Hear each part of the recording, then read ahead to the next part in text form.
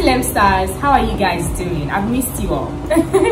yes, I know I saw you guys last week Saturday, but still, if you're new here and you're not part of the Silem stars, join the Silem stars by hitting the subscribe button down below. It's absolutely free and it helps the channel grow. In today's video, I'm going to teach you guys how to draft and cut a three-part corset from start to finish. This three-part corset is also going to have a basque waistline. So I'm going to show you guys how to draft and cut a three-part corset with a basque waistline. If you want to see how I do this, definitely keep on watching. Oh, hey, I didn't see you there. so now you want to take your pattern paper and then you want to go ahead and draw your baseline at the top. I'm using a pencil because um, I want you guys, I don't want you guys to get confused. If I start off using a marker, there'll be too many lines and it might get confusing. So from the baseline, go ahead and mark your bust points and your under bust and also mark your um, your waistline. So in this case, I'm making the front piece the front piece to have a basque waistline. So that's why I use 22 inches. My bust point is 10 inches and 13 inches. My bust point and under bust rather are 10 inches and 13 inches respectively. That's what I marked. And I, right now I'm just going to just label the lines. BP means bust point, UB means under bust. I also extended the waistline as well and WL means waistline. So I just labeled all the lines. Now I'm also going to go ahead and mark the armhole which is 8 inches from the baseline or you can call that the chest line rather which is CL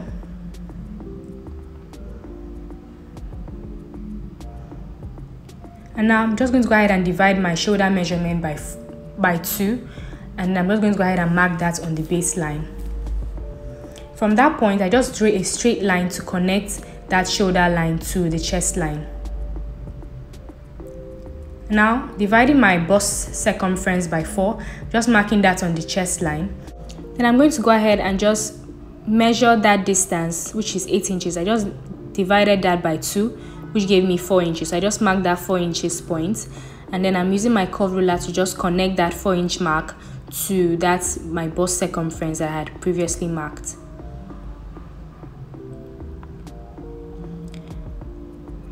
I'm also going to go ahead and just mark a regular 3 by 3 neckline. We wouldn't be needing this neckline but it's important that you mark it because it's going to help you to draft this particular pattern. So I just use my curve ruler to just connect those points. Now I'm going to go ahead and mark my nipple to nipple divided by 2 measurements. So my nipple to nipple measurement is 8 inches divided by 2 since my paper is folded. Now I'm just going to have to connect all those points together all the way to the bust point. And now from that bust point mark, I'm just going down by 1 inch. I'm marking that point. Now by the sides of the dart, the two sides of the dart, I'm taking half inch on both sides. And I'm just going to go ahead and use my ruler to just connect that point at the dart leg all the way up to that point I marked under the bust point.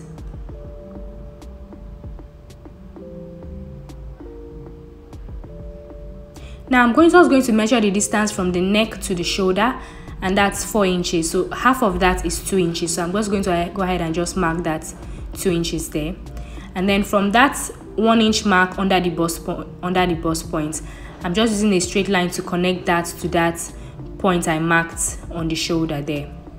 Now i went ahead to to measure the distance between my bust and my under bust and i got three inches.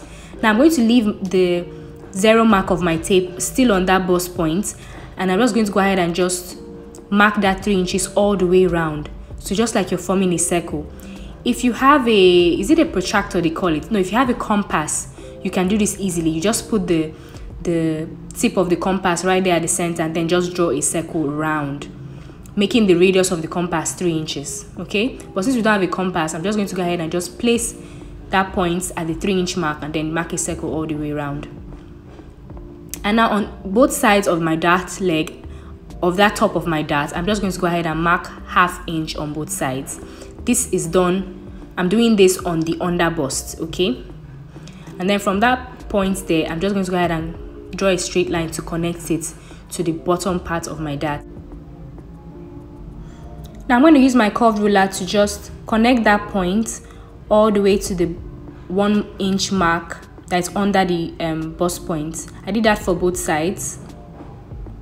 Now on the side of that line that is towards the center front, I'm taking 0.75 inches and then on the side that is towards the side front, I'm taking 1.25 inches. Now I'm going to go ahead and connect those two points to the bust point line. Now what this will do is that it's going to prevent gaping.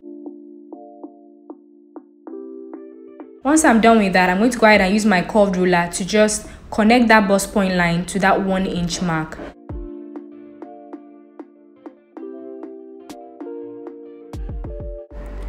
Now, coming down from the chest line, I'm going down by half an inch and going inward from the edge there by half an inch as well. Connecting those two points with a straight line. Then I'm going to use my curved ruler and then connect that point there all the way upwards to, to that line at the top. And I'm also going to go ahead and use my curved ruler to also connect that same point all the way down to the underbust line.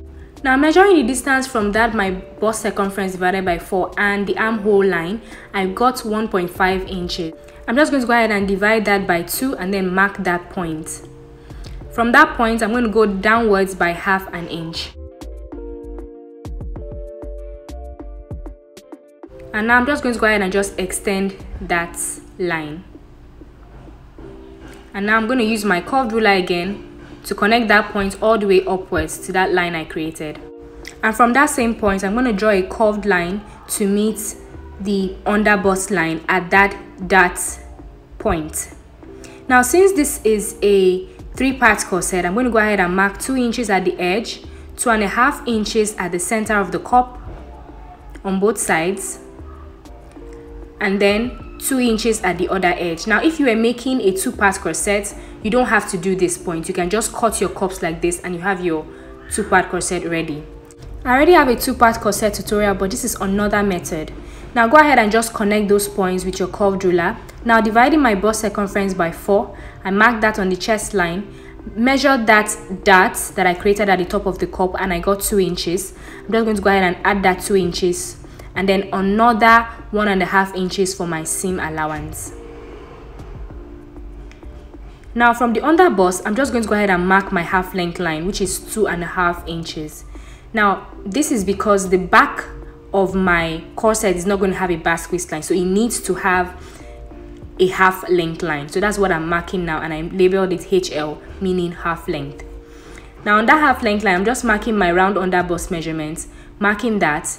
I just measured that dart there, and I got 1.25 inches. I'm just adding that to my my round under bust circumference and i'm also adding one and a half inches seam allowance. I'm just going to go ahead and just connect those points together with my ruler. But before i do that i'm going to replicate that chest line down on that line where my cup actually starts or that line where my my front piece actually starts.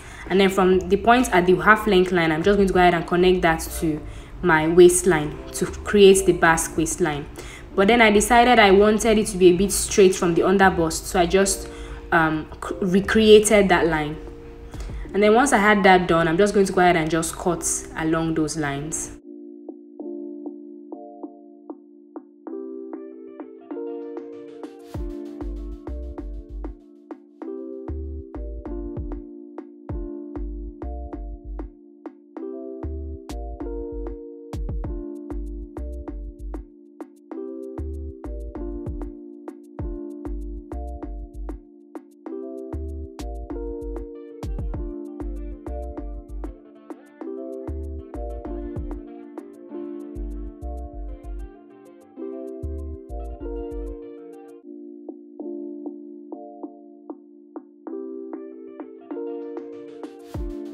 Now I'm going to go ahead and label the side front S and the center front C. For the cups, I'm going to, going to label the cup CC, which stands for center cup, and SC, which stands for side cup. You can label this with anything, just make sure that you understand what it is you're labeling because you need to know which cup is going to go where. Now go ahead and just cut your cups.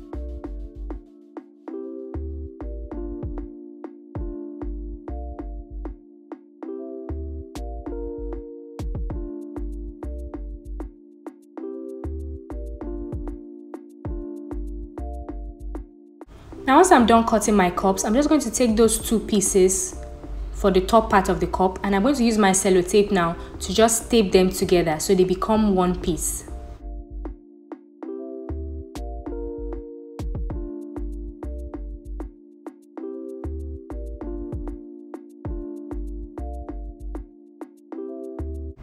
Now once you've done that, you can actually use it as it is, but I prefer to cut it out on a new piece of paper. So I'm just placing it on a fresh piece of paper and I'm just tracing out the outline.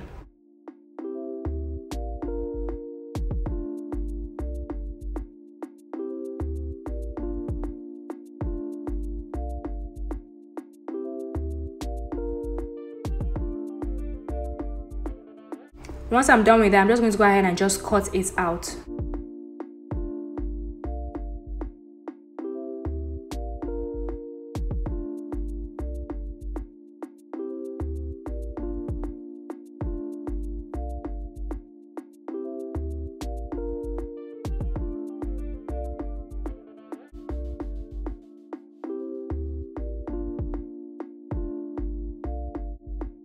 And I'm just going to go ahead and just label that as up.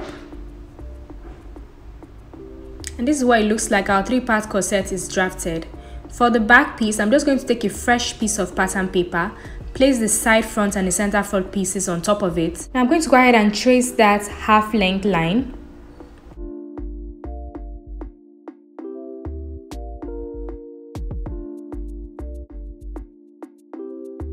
I'll also go ahead and just trace out the outline as well.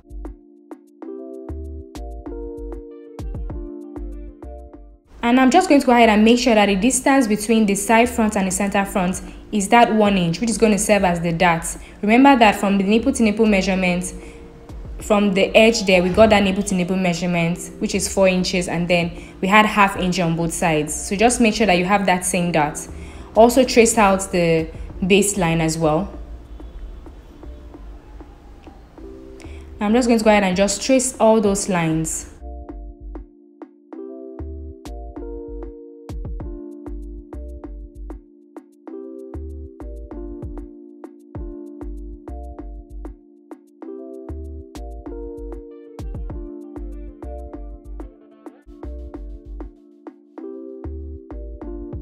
and once we're done with that, I'm just going to go ahead and just indicate that that allowance there is the zipper allowance. Now I'm just going to go ahead and just extend that dart line and then on both sides of the dart, I'm going to make sure I have that half inch on both sides. I'm going to go ahead and just extend that all the way upwards.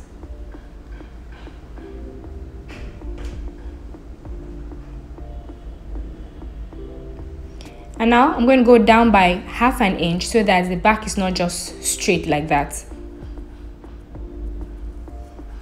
And I'm going to go ahead and extend that line.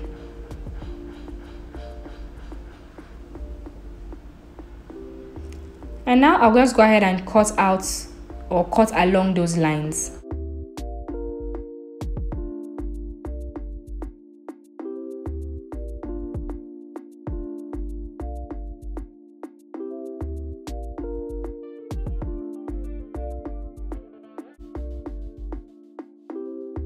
That's it guys. In my next video i'm going to show you guys how to sew this completely okay? So please subscribe if you haven't already. And yeah thanks for watching guys. Bye